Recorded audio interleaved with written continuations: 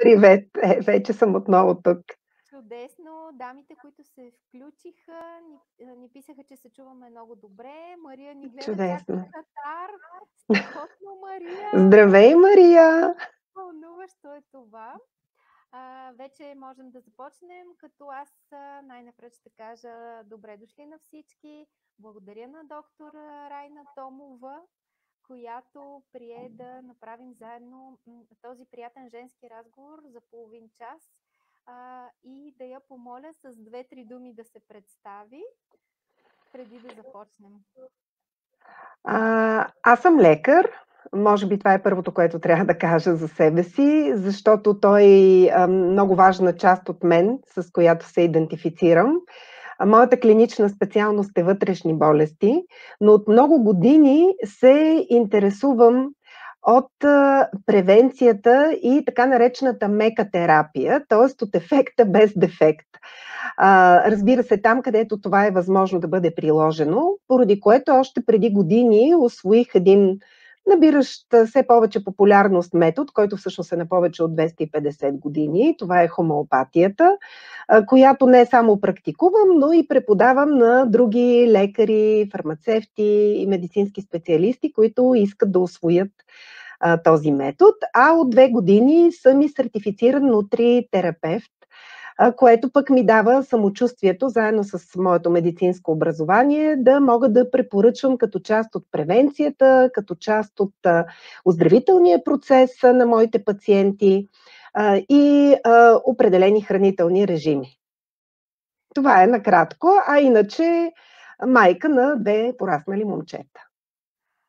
Това наистина е накратко. Аз познавам а, доктор Райна Томова, може би повече от, да не кажа, 12 години. А, като ние а, имахме обща среща в така научно-образователните среди, но в последствие а, тя стана а, доктора на цялото ни семейство. Моя син е отгледан с а, нейните съвети а, като последните години, а, и признам си малко преди а, доктор Томова да вземе дипломът си за нутритерапевт, аз се възползвах и от това, а, от тези нейни консултации, така че съм от първо лице нейн пациент, клиент и въобще.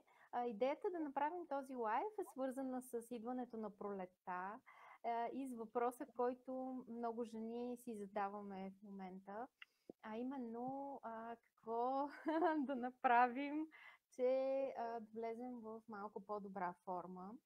А, тази пролет е различна, защото цяла година ние прекарахме в един много-много по-различен режим, а, който включваше така голямо е. засветяване, а, доста стрес и според мен това по някакъв начин ам, допринесе не само за да не изглеждаме кой знае колко добре, но и да не се чувстваме особено добре в тялото си, във външния си вид.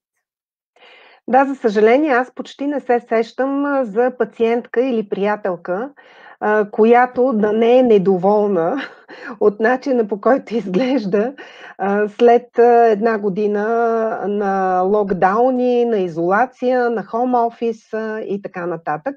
Много ми се иска сега да кажа пред вас голямата тайна, да ви кажа една бърза рецепта и утре всички да се събудим стройни, красиви, изглеждащи поне 5 години по-млади. Ови, няма такава рецепта. Съжалявам, но ще бъда откровенна. Няма такава рецепта. Дори по отношение на отслабването не можем да бъдем еднозначни.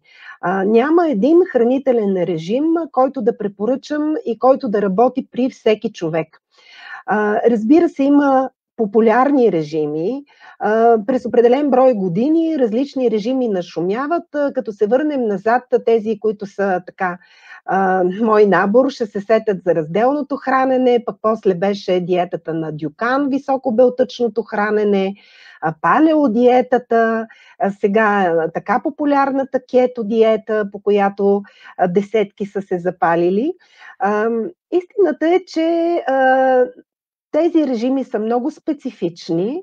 Някои от тях имат предимства, които не могат да бъдат отречени. А да кажем, ако, ако трябва да коментирам най-популярната в момента кето диета, към която много хора посягат без изобщо да си дадат труд да, да направят а, някакви изследвания или да се срещнат с лекар. А, тази диета има предимства, да кажем, при една а, намалена инсулинова чувствителност, а, има предимства при диабет от втори тип, има предимства при някои неврологични заболявания. Всъщност, въпреки че тя стана напоследък популярна заради факта, че води като страничен ефект до отслабване, тя е измислена преди почти 100 години от един лекар в клиниката Мейо за лечение на деца с трудно повлияема епилепсия, в последствие използвана и за лечение на деца с диабет от първи тип, инсулинозависимия диабет. Сега тези неща имат друг тип лечение. При тази диета се отслабва, наистина. Отслабва се без да се губи мускулна маса което е важно. Отслабва се за сметка на мазнините. Потиска се центъра на глада от синтезираните кето тела, така че ние не се чувстваме озверели. А, също така а, се чувстваме лекички, в добро самочувствие. А, така че тя има предимства и не е случайно, че има много почитатели, но бих казала, че тя не е за всеки. А, а преди да продължиш, може ли да я синтезираш с една дума, защото може би пък някой е чувал, но не знае точно какво. За какво става въпрос? А, това означава огромна част от дневния калориен внос да идва от мазнини. Като казвам огромна част, 70-75% трябва да идват от мазнини. Всякакви. Въглехидратите, всякакви мазнини. Въглехидратите са безкрайно а, ограничени. В много рестриктивните а, варианти а, те са до 5-10% от дневния калориен внос, което е изключително малко количество. А, и съответно остатъка а, остава за белтачините, които се движат някъде около 20%, което е горе-долу нормално за внос на белтачини. Сега и на само ще направим штрихи на няколкото най-популярни mm-hmm. но просто с една дума така да кажем. Да. Общо заето се разчита на Извинявай. Разчита се на това, че а, при а, тази диета, когато много-много падне въглехидратния внос, тъй като нашия мозък се храни основно с въглехидрати, ние превключваме на план Б. Започваме да синтезираме кетотела, с които да си осигурим а, гориво, енергия, за която иначе основен източник са въглехидратите. Това е принципа. И, и, и сега ти изреди ползите, т.е. това, което ще забележим като позитивен ефект. Mm-hmm. Каква е другата страна на монетата и защо да внимаваме преди да се захласнем по някой тренд, за който четем? Другата страна на монетата е, че този тип хранене може да обостри а, заболявания или да отключи заболявания, ако ние сме генетично обременени за тях, фамилно обременени за тях.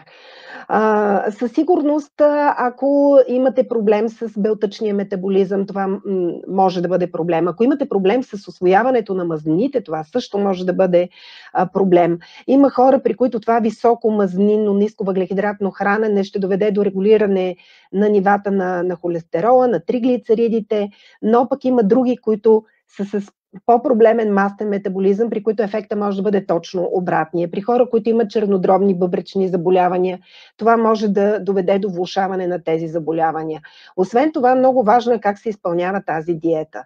Тя може да бъде в един по-здравословен вариант, а, може да бъде и много хард защото в тази диета обикновено се залита към животински източници на мазнини, което води до създаване на една кисела среда в нашия организъм, която води пък до ускорено клетъчно стареене, до ускоряване на процесите на остеопороза, която има категорично много лошо отношение към фертилитета.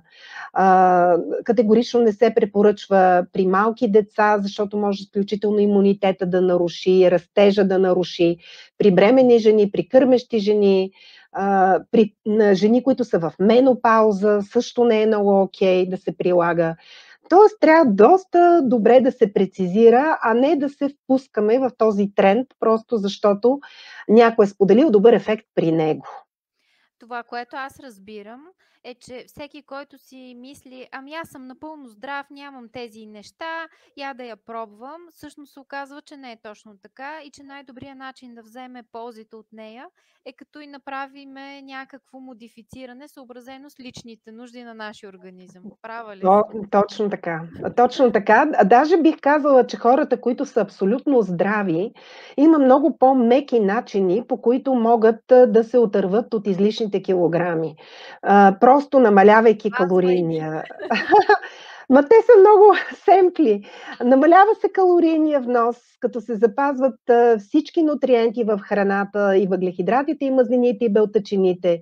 Спортува се повече, да, има хора, при които това няма да реши въпроса. За тях са по-специфичните диети и освен това за тях е и необходимостта да се проведат малко по-задълбочени изследвания. Защото вие може да, сте, да спортувате като луди, да внимавате за калорийния си внос и въпреки това да не отслабвате и да се чудите какво не правите както трябва може да правите всичко както трябва, но да кажем да имате инсулинова резистентност, която до този момент не е диагностицирана. Да имате една хипофункция на щитовидната жлеза, която до този момент да не е диагностицирана. Тоест има една пътека, която трябва да бъде извървяна, ако обичайният модел с балансирано хранене, с много плодове и зеленчуци, предимно зеленчуци, по-малко плодове, ако трябва да съм точна, с наличие на достатъчно, не прекалено много белтъчини, с наличие на добри мазнини, не води до отслабване, а, значи трябва да потърсим причината или да направим наистина адаптиран хранителен режим. Арени, знам, че освен хранителен режим, а, ти имаш предвид изобщо, т.е консултираш и говориш и за цялостен режим в начина на живот. Включваш движението и спорта и самата ти имаш огромен опит с това и знаеш колко много спорта може да направи. Ние всички знаем, че е много полезно да се спортува, но защо е важно да го правим а, дори всеки ден по половин час, вместо веднъж седмицата или два пъти изтощителна тренировка и после да спрем пак за 2-3 седмици? Първо, постоянството е ключа към всички добри постижения и това е факт. А, когато правим а, крат, а, не кратки, ами а, редки, редки тренировки, които са изтощителни, това води до отделяне на доста кортизол, който пък от своя страна намалява инсулиновата чувствителност и вие се завъртате в порочния кръг на пълнене вместо отслабване и се чудите какво ви се случва. А, умерената физическа активност тя не може да предизвика този стрес, това изръсване на кортизол. Това е първия и плюс. Втория и плюс е, че тя тренира добре нашата сърдечно-съдова система. Когато говорим за отслабване, първото, което му хрумва на човек е колкото повече тренирам, толкова повече калории горя. Сега истината е, че по време на една тренировка ние не гориме кой знае колко калории. Ако сте се качвали, да кажем, на пътеката и сте тичали в продължение на половин час, като погледнете накрая колко калории сте изгорили, видя да се гръмнете, нали? защото почти нищо не сте направили. Обаче, спорта има много други а, предимства. А, спорта подобрява инсулиновата чувствителност и това е доказано. Тоест, за дългосрочен план това ви помага да, а, да, да балансирате хормоналните нива и да ослабвате, защото когато има инсулинова резистентност, има по-високи нива на инсулина. Инсулина блокира ензима липаза, този, който е отговорен за разграждането на мазнините. А, така че а, подобряването на инсулиновата чувствителност е много голям бонус. Друг голям бонус – трупате мускулна маса. Трупането на мускулна маса означава повече изгорени калории в покой, защото нашата мускулатура а, консумира в покой. Трето предимство веднага ми идва на, на ума, съм голям фен. А, си доста опитна. Така е. А, защото съм прилагала всичко, което говори върху себе си. А, е да. Повишават се нивата на серотонина. Това е естествен антидепресант. А, всъщност, огромният проблем на, на, на масата жени, не само жени, но да кажем, че нашата аудитория е по-скоро женска, е емоционалното хранене. Емоцион... емоционалното хранене ни кара да ядем, когато сме тъжни, когато ни е скучно, т.е. по причини, които нямат нищо общо с нуждите на нашето тяло. Да не говорим, че при емоционално хранене традиционно се посяга към сладки храни, към тези, които носят бързо удоволствие. А така че спорта ни позволява да, да, да сме щастливи по друг повод и да нямаме нужда от посягане към такива храни. И тук отварям една скоба. Аз много обичам да комбинирам в целият този пакет от добро хранене и спорт да вкарвам и хомеопатията, особено тогава, когато наистина има емоционално хранене при жената. Хомеопатията е изключително полезна за овладяване на тревожно-депресивни състояния. Това е доказано в големи проучвания, които установяват, например, че при тревожно-депресивни хора, които се лекуват с хомеопатия, 71% пада консумацията на медикаменти за регулация на тези състояния. Тоест, да говорим за един доста стабилен ефект, който ще ви помогне да останете в този здравословен режим, който сте избрали и който е подходящия за вас. Рени, това е цяла палитра от инструменти, които могат да бъдат приложени. Е страхотно да има човек, който ги събира в едно и би могъл да персонално да консултира а, някой лично за него и да съчетае всички тях. Нека да минем много набързо и през още една-две теми. Едната от тях е, само ще я маркираме, нямаме време, не искаме да представя прекалено дълго, но искам да отворя думичката за пролетния детокс. Ние с теб предварителния ни разговор, дълго си говорихме за това, имахме а, колебания как да говорим за това. А, тъй като това е дума, която е абсолютен вайрал, казан на, на такъв език, а, изключително популярна, а, но аз пък държа да бъдем а, наистина качествено и научно полезни на нашата аудитория и затова все пак те помолих да, да поговорим за него с няколко изречения. Защо след тази една година, след тази зима, след това застояване вкъщи и няколкото килограма, с които сме всички, няма да прочистим организма си, черния си дроп и шлаките, нарочно казвам тази дума, с една седмица на зелен сок само.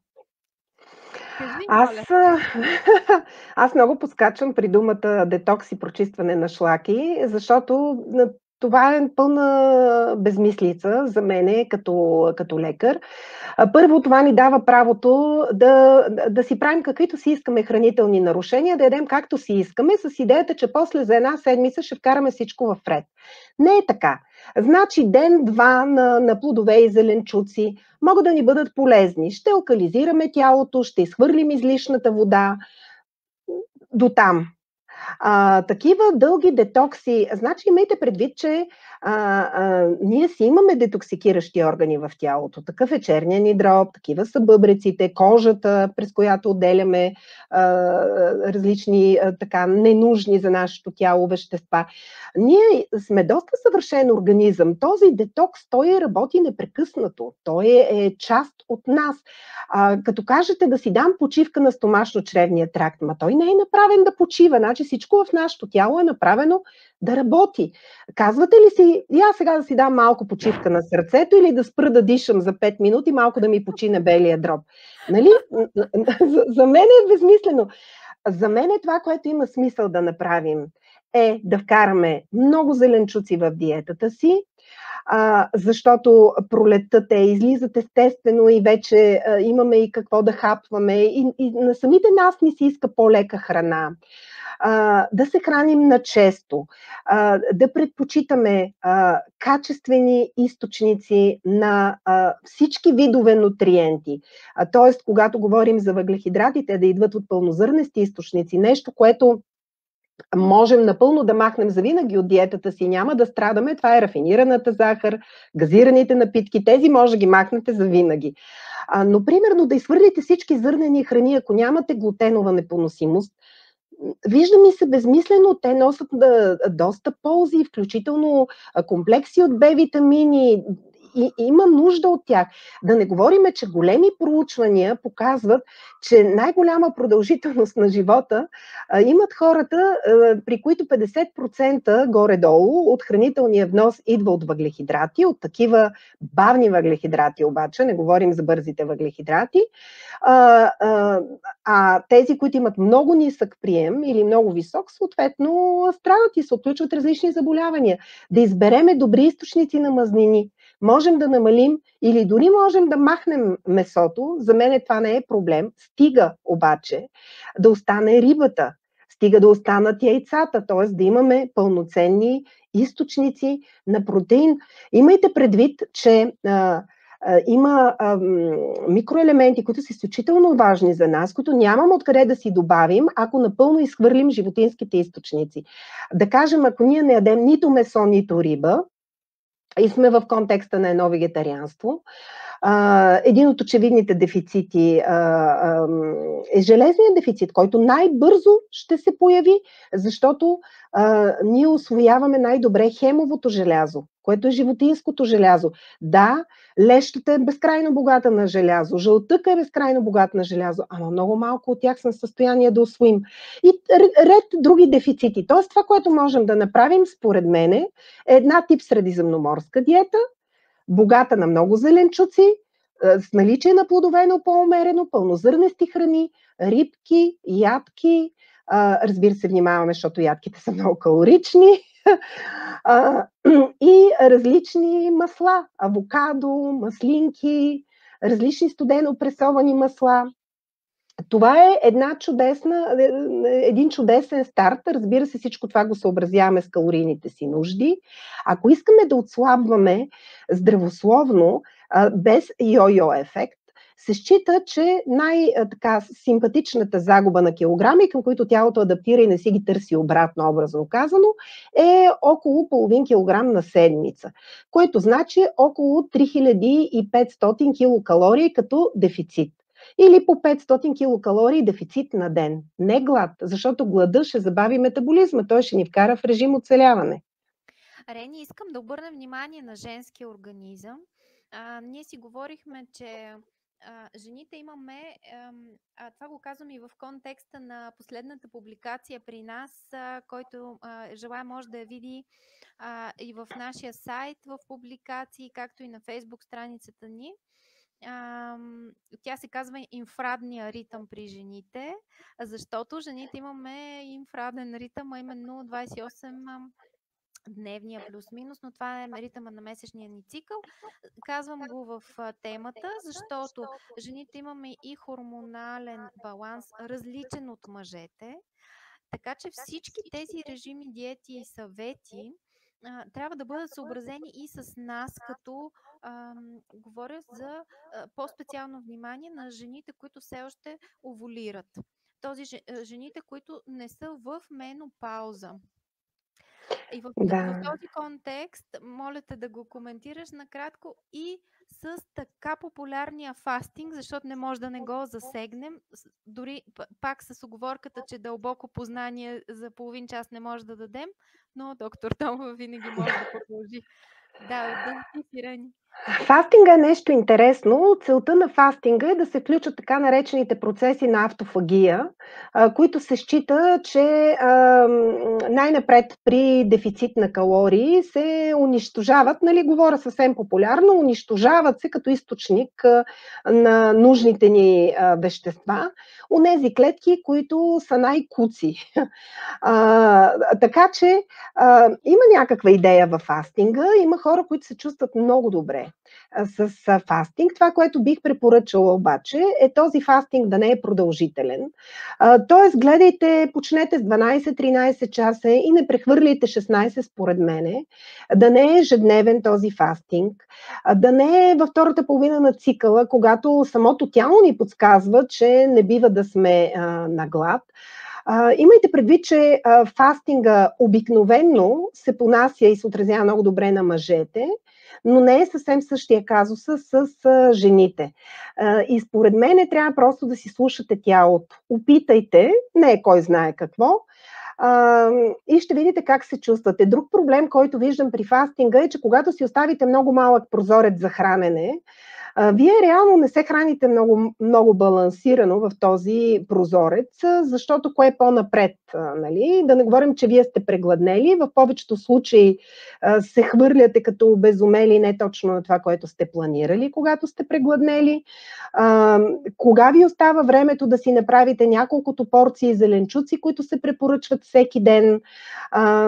Общо взето, вие преминавате към едно доста рестриктивно хранене, реално, което не на всеки се отразява добре. Пак, пак е много индивидуално.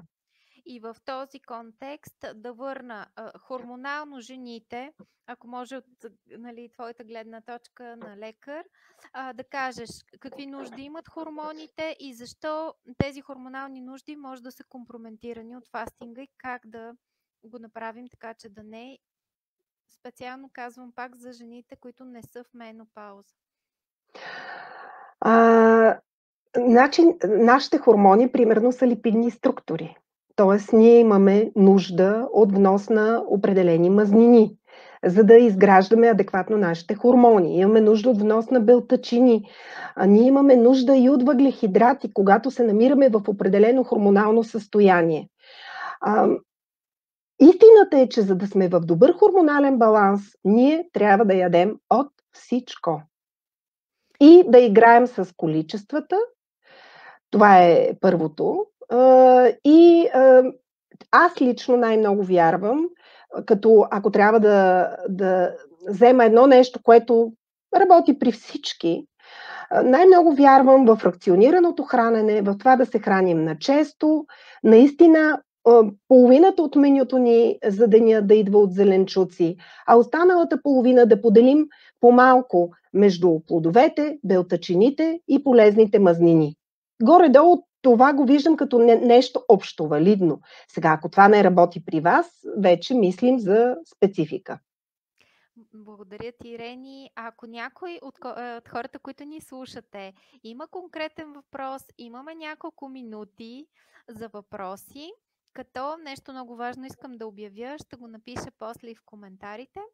А, доктор Томова а, има своя месечен бюлетин, в който безплатно споделя научна информация и информация от нейния опит като лекар, а, хомеопат и нутритерапевт. Така че ще бъде полезно за нея да разбере какво ви вълнува и ще ви пусна линк, ако желаете да получавате тази безплатна информация в почтенската си котия. След... Зори, ако ми позволиш на финала да кажа още две неща, които много Моля да, разбира се. смятам, че са важни. Първо, смятам, че е изключително важно да намерим начин да контролираме стреса. И да, той има отношение към напълняването. Хроничният стрес означава хронично по-високи нива на кортизола, означава намалена инсулинова чувствителност и така нататък. Тоест, не пренебрегвайте необходимостта от време за себе си, и релакс по начин, който на вас ви доставя удоволствие, за всеки е различно. И второто нещо, един така не толкова може би известен и коментиран факт е, че недостига на сън води до напълняване. А, така че а, минимум 7 часа на сън, а, сън това е. Иначе не е окей. Okay. Още няколко думи за съня. Това е тема, а, която е изключително важна и за нас. А, аз самата съм страдала година и половина някъде от инсомния. Ти беше до мен в този период, много ми помагаше. А, така че темата е супер важна. Кажи ни накратко за какво е отговорен съня. Осъня е изключително важен. Хората, които не си доспиват, не само, че се чувстват зле, но се нарушават изключително много функции в тяхното тяло. Нарушава се паметта, нарушава се възможността за концентрация, нарушава се, ако щете, дори сърдечната дейност, може да се появи екстрасистолия и така нататък. Съня от изключително значение. Настъпва хормонален дисбаланс, ако няма достатъчно сън. Много е важно, знам, че е трудно, човек да си ляга преди полунощ, ако може, т.е. да хване една малка част от, от съня преди полунощ, т.е. да живее близо до това, което хилядолетия ни е формирало, да се движи със слънцето, да не остава твърдо до късно вечер, да не използва източници на бяла светлина, които лъжат тялото, че навън е още ден и съответно човек не може да се отпусне и да заспи. Много хора, когато имат проблем с съня, тръгват веднага към прием на мелатонин, но всъщност нарушените съотношения между мелатонин и серотонин могат да бъдат причина за лошия сън, така че вие да имате нужда от това да качите серотониновите си нива, а не непременно тези на мелатонин. А, има хомеопатични медикаменти, които могат също да ви помогнат в тази посока. Много е комплексно. Трябва да си създадете ритуали в спалнята ви да не правите друго, освен секс и сън. И така, Например, да седим с компютъра на леглото и така нататък. Не, не, синята светлина при хората, като имат проблем с съня, никак не е окей. Okay. Трябва поне час преди да, да, да си легнете, просто телефони, телевизори. Просто лягате си на време, правите си ритуал отпускащ. За някой това е кратка медитация, за друг е чаша билков чай отпускащ. Четете хубава книга, това, е, това е начина, не е телефона и екрана. А, Дария ни пише, аз не спя сега заради бебето. Наистина това е огромния процент от случаите, в които жените отключват безсъние. При мен също да. така се случи. Бебето започна да спи, стана на една годинка, аз обаче не. Ами има си специфичен хомеопатичен медикамент, който даваме тогава, когато нарушение ритъм сън бодърстване е причина за отключването на безсъние. А, така че има какво да се направи. Има какво и също от личен опит мога да кажа, че а, едно нещо а, не може да го поправим, като му завием гайката. В комплексния подход е истината. А, оптимално хранене, а, неутрализиране на възпаленията, добър сън, антистрес практики, всичко това работи само единствено в синхрон, поединично не става. Мария ни пише, доктор Томова и мен спаси от инсомния и не само.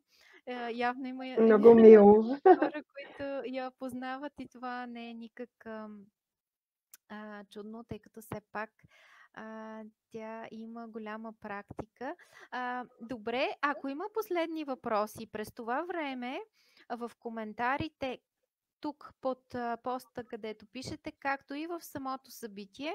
А, след това ще сложа линк към бюлетина на доктор Томова както и няколко статии, които ние сме писали по въпросите, които говорим си. Например, веднага си извадих как да спим по-добре, 13 съвета за по-добър сън, която съм писала точно аз нарочно с така темата и други.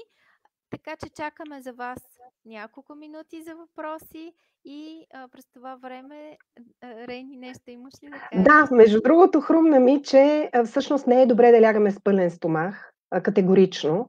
Хубаво е 3-4 часа преди сън да спреме с храненето, защото тази храна трябва да има време да напусне стомаха ни, иначе благоприятстваме възникване на гастроезофагиален рефлукс, от който страшно много хора страдат и така нататък. Въобще не е хубаво. Помислете си, ако вие 3-4 часа преди лягане не ядете и спите поне 7 часа, ми вие си го имате фастинга в неговата здравословна не е тежка форма. Тоест тя природата ни го е дала. Ние сега изобщо не откриваме топлата вода, а просто намираме начини и то а, начини с отклоняване на махалото в обратната посока, в крайности вече, за да се върнем към нещо, което всъщност е естествения начин на живот. А, да, и нещо друго за фастинга, което си казахме с Рени преди да стартираме. А, голяма част от тези модерни трендове и съвети а, се дават на база изследвания, правени само с мъже. И това е било така по няколко причини. Ще ви пусна статия, в която може да прочетете. Причините са, че жените са били твърде сложни, за да се изолира хормоналния им а, танц през месеца като фактор, а, който ще повлияе на резултатите. Също така мъжете са били използвани войниците през Първата и Втората световна война за правене на изследвания, а, а техния хормонален а, въобще танц е много различен от нашия. Така че е, една жена в определено състояние, ам, а, да кажем, ам, в овулация и след овулация, преди цикъл, а изобщо не трябва да бъде крайна и да се натиска безкрайно много в гладуването и фастинга. Но това са наистина въпроси, които доктор Томова би могла да обсъди с всеки един, който има какъвто и да било хормонален дисбаланс или желае да обсъди с нея на консултация. Добре, аз не виждам да са написани повече въпроси. Рени, как да обобщим тази среща?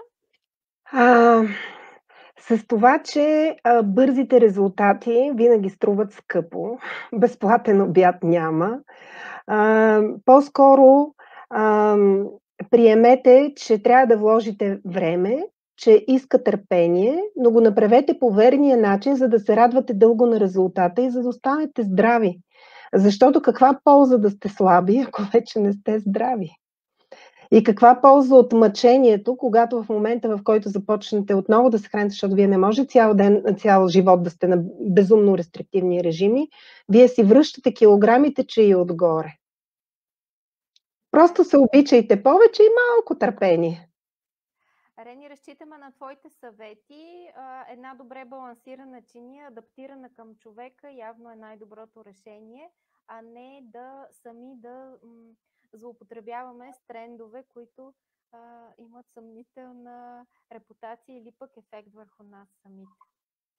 Благодаря ти много. Беше ми изключително приятно. И на мен. Ние имаме вече няколко събития заедно, но това ще остане на запис и може да бъде гледано от всеки, който пожелая по-късно. от мен много хубав следобед на всички. Рени и на теб. Благодаря. Мария ни пише, искам още такива срещи. Много мило.